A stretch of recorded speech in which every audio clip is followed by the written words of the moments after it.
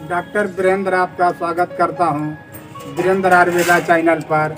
मैं आपको आज अल्लास अल्लास एक रोग है और इसके बारे में आपको परिचय और चिकित्सा बतला रहा हूँ। जिह्वा के तल भाग में कफ और रक्त जनित गंभीर शोथ हो जाता है तो इसे तो इसे अलास कहते हैं, यानी अलास रोग कहते हैं।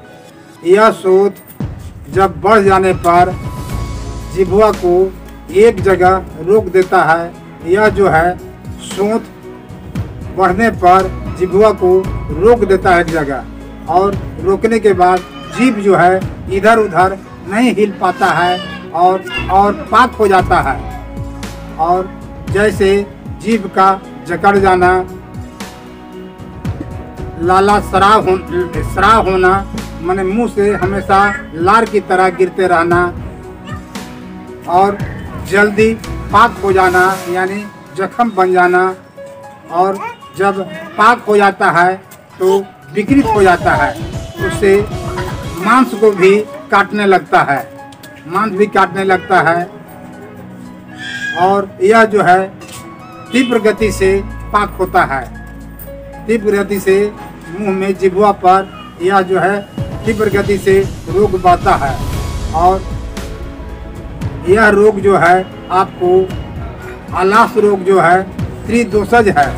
बात पीत कफ, इसमें तीनों दोष जो है दुष्ट होते हैं। और इससे जिभुआ पर यह जो है अल्लास रोग का उत्पत्ति होता है।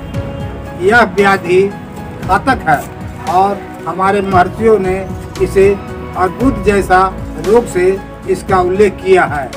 जीभ में आपको यह रोग होता है और जीभ जो है, हिलता डोलता नहीं है। वह जो है किसी तरह का जब ये रोग होता है तो विकृत जब होता है जिभुआ तो रस का ज्ञान जो है, समाप्त हो जाता है।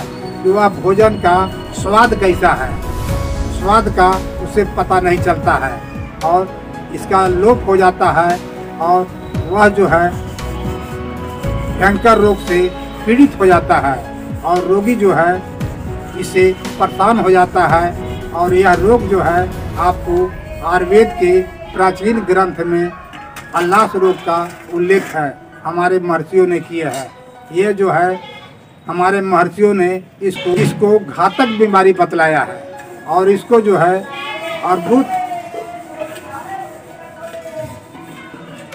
अर्बुद से इसकी तुलना किया है हमारे महर्षियों ने। और यह रोग जो है, बहुत घातक है और बराबर जो है शराब होते रहता है मुँह से, लार की तरह टपकते रहता है और मांस को भी काटने लगता है। मैंने जीप पर होने के बाद अगल बगल भी मांस को भी यह जो है डिस्टर्ब करता है और मुँह जो है भी लास्ट में जब यह रोग बढ़ जाता है तो मुँह जो है जकड़ने लगता है। और वह जो व्यक्ति रोगी जो है, उच्चारण सही नहीं कर पाता है, बोल नहीं पाता है, जीभ जो है, मोटा हो जाता है। इसलिए जीभ एक जगह सब फिर हो जाता है, यानी जकड़ जाता है एकदम। और इसकी मैं आपको चिकित्सा बतला रहा हूँ। बिडंग ले लीजिए रसौत ले लीजिए और पिपली तीनों को बराबर बराबर मात्रा में लेकर, इसको क्वाथ बनाकर पीने से आपको मुख के अंदर रक्तिमा है या दाह है, पीड़ा है, सोत है, इसको आपको समाप्त कर देता है। और यह औषधि जो है बिडंग जो है और रसौत जो है और पिपली, ये तीनों आपको औषधि मिल जाएगा। और तीनों औषधि लेकर आप उसको क्वाथ बना लें। क्वाथ बनाने के बाद उसको गंडूस करें, यानी गलगला करें या मुँह में रखकर कूला करें और कुछ देरी तक करें। इससे मुँह का रक्तिमा, मैं लाल रंग का रक्तिमा वर्ण का हो गया है, या दाह हो गया है, या पीड़ा हो गया है, या सोत है तो सभी को नाश करता है और तीनों औषधि को आप स्किन पर देख कर उतार लीजिए और इसको स्वाद बना के गंडूस कीजिए। गंडूस करने से आपको ये रोग जो है समाप्त हो जाता है। और इस वीडियो देखने के लिए मैं आपको धन्यवाद दे रहा हूँ। वीडियो को लाइक एवं शेयर ज़रूर करें। जय धन्वंतरी जय आयुर्वेद।